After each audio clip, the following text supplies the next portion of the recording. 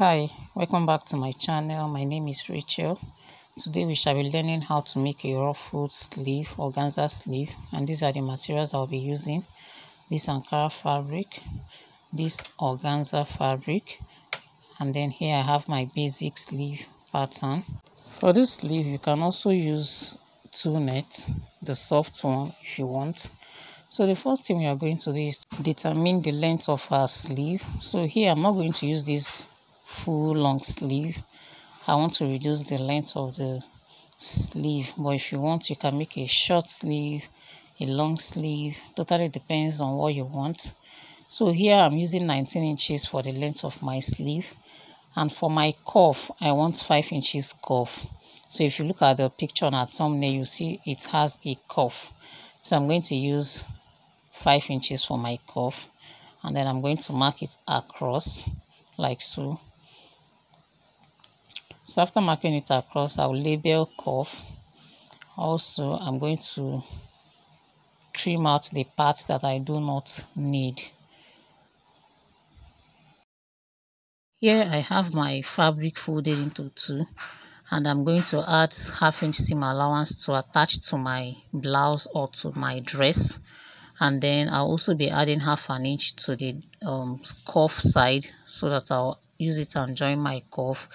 I already have one inch seam allowance added to the side while drafting the pattern of the sleeve.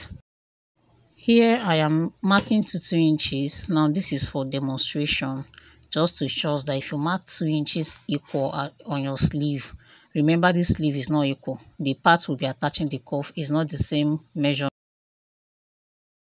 so if you mark equally after sewing your ruffles on the sleeve and it's time to shape the side seam you'll be sewing on top of your ruffle.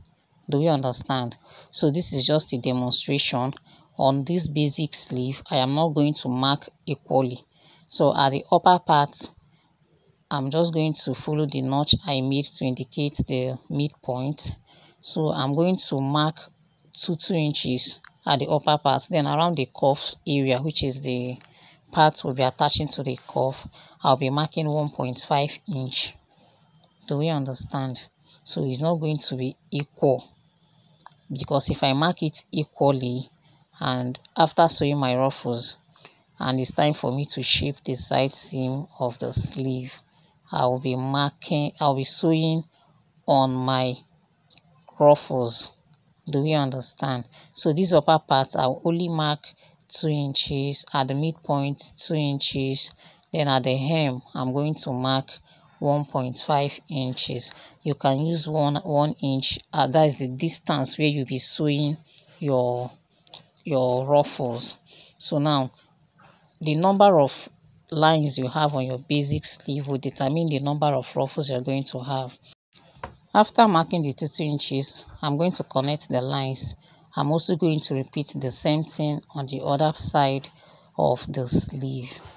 So please, the distance, if you want, you can use um, mark one one inch from the center sleeve, mark one one inch.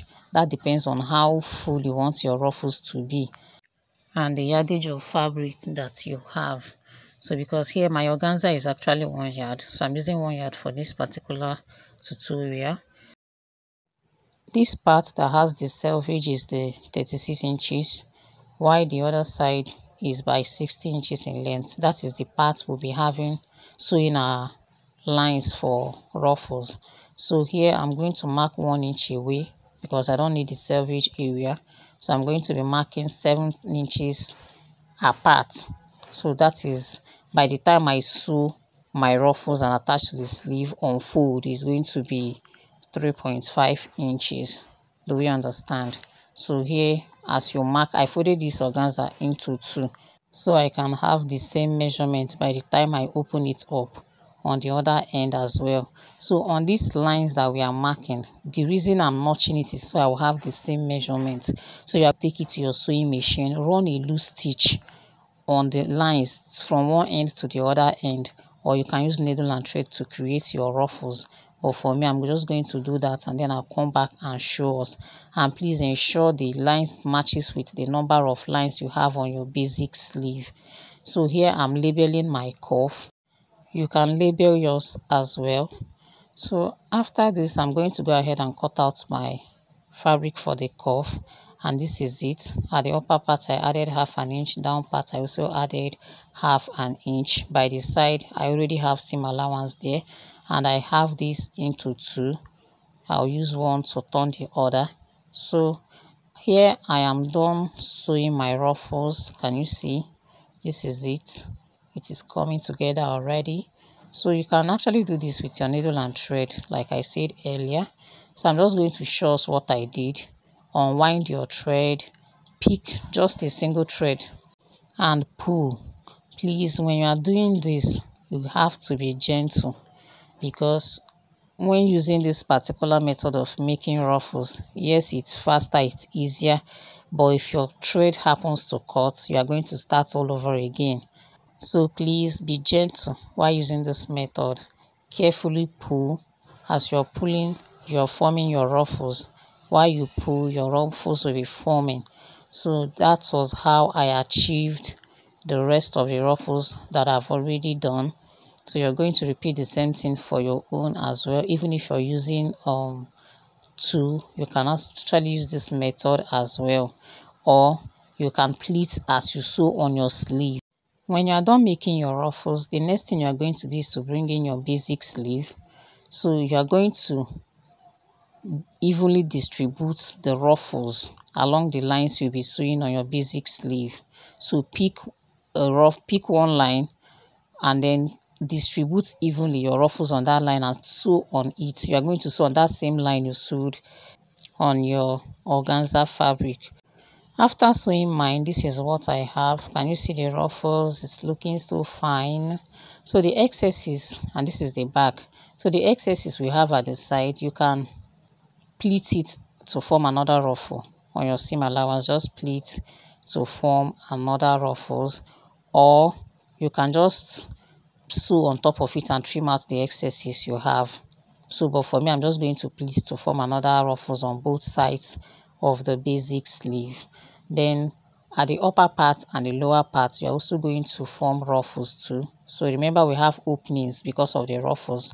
So just create tiny tiny ruffles around the following the sleeve curve and then you sew on it tiny pleats and sew on it. I'm going to do that and come back and show us what it looks like. So after sewing this is what i have. Can you see? You can trim out any excesses you have there. Please do not forget to subscribe. So by the sides you can see the extra ruffles i added by the sides this is it. It's looking so fine. Here i've sewn my cuff as you can see. So if you want you can flip this like so and sew the side according to the seam allowance that you left.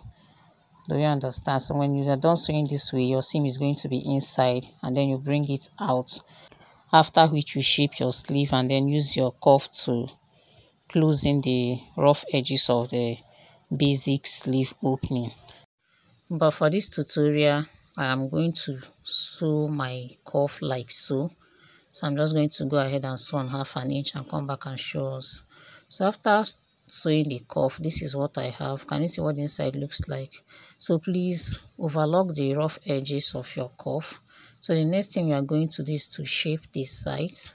So you're just going to squeeze in your ruffles inside and then you are going to sew according to the seam allowance that you left please do not sew on your ruffle. Make sure you squeeze in very well and sew. And i'll do that and come back and show us what it looks like. After sewing this is what i have. Can you see? Please overlock the rough edges please. Please. So i'm going to bring it out. And then this is the final look. So please do not forget to subscribe thank you for stopping by on my channel. I do not take it for granted. You can attach this to your dress to your blouse and this is looking so beautiful. So see you in my next one. Bye